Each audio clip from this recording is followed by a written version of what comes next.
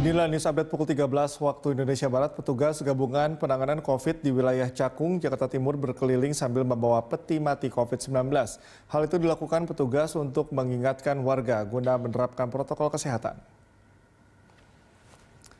Petugas gabungan melakukan razia masker di Kelurahan Cakung Barat, Cakung, Jakarta Timur.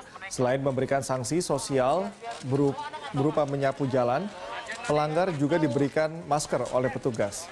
Petugas menilai masih ada warga yang tidak mematuhi protokol kesehatan. Jumlah pasien COVID-19 di Kecamatan Cakung tertinggi kedua di wilayah Jakarta Timur.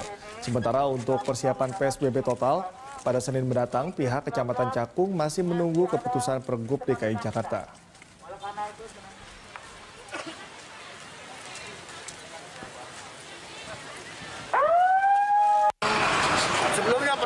Kita laksanakan di beberapa kelurahan sama ya konsepnya sama.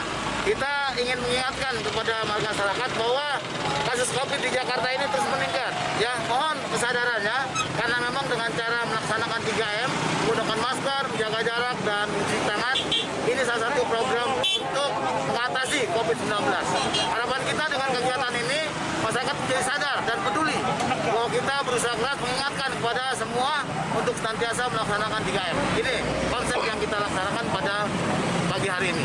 Bersama dengan Pak Kapolsek, Pak Ramil, dan seluruh jajaran masyarakat, gugus tugas RW, kelurahan,